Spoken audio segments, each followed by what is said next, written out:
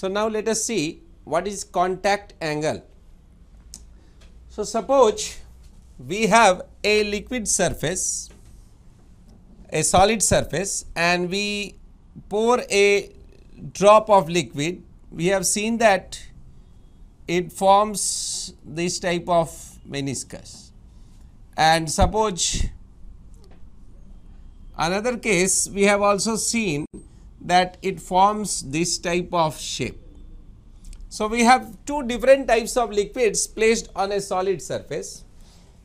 So, here you see just see the boundary of this this. So, you will have a circular boundary suppose.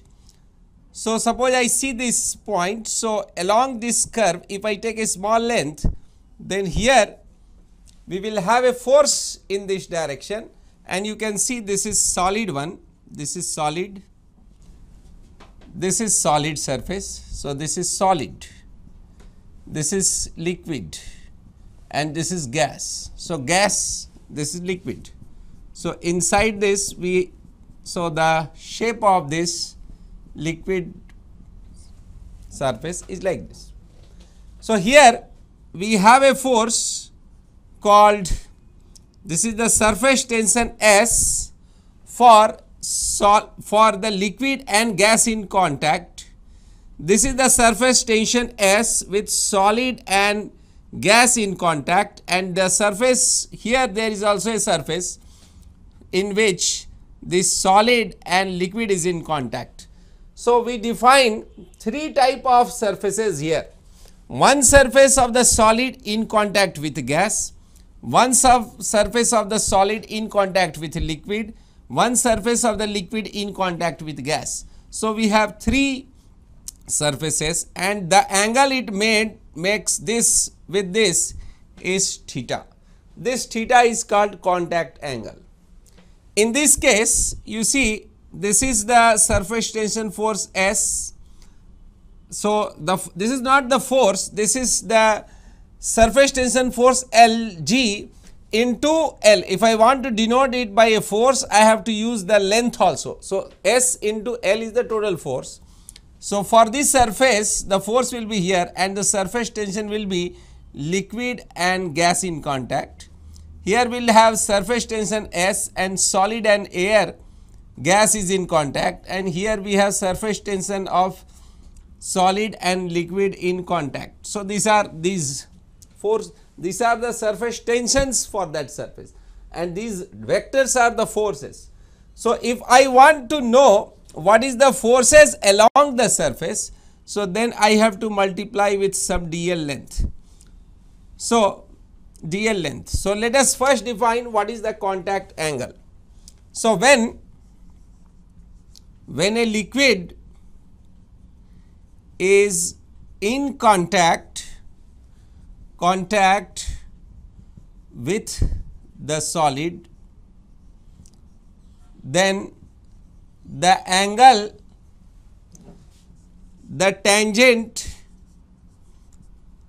tangent on the meniscus meniscus makes with that with the direction the direction of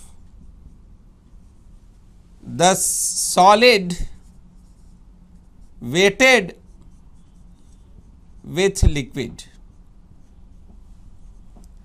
is called contact angle is called contact angle. So, you see here solid weighted with liquid is this. So, this is theta and here theta. So, in this case the angle of contact the angle of contact of contact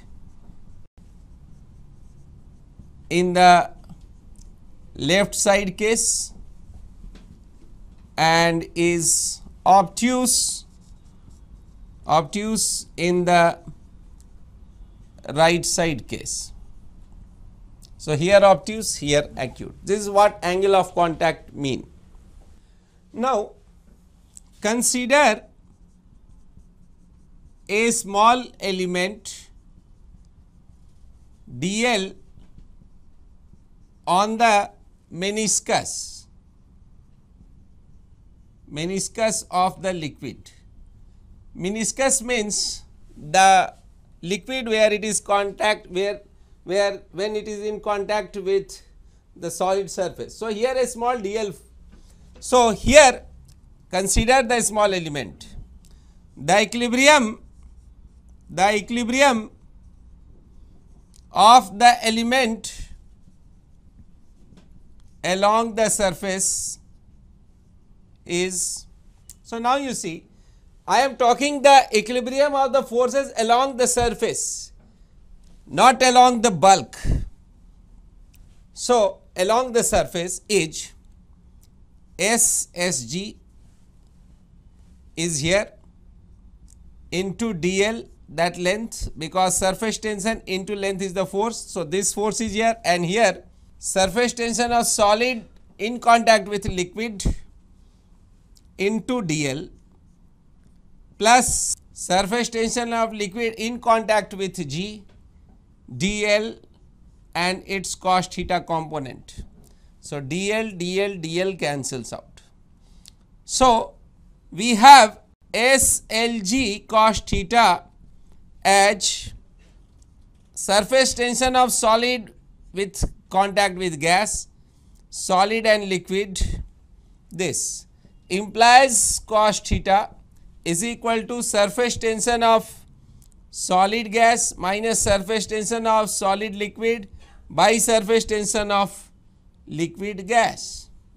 So, this is how we can define this cos theta that is the contact angle between a liquid and a solid surface.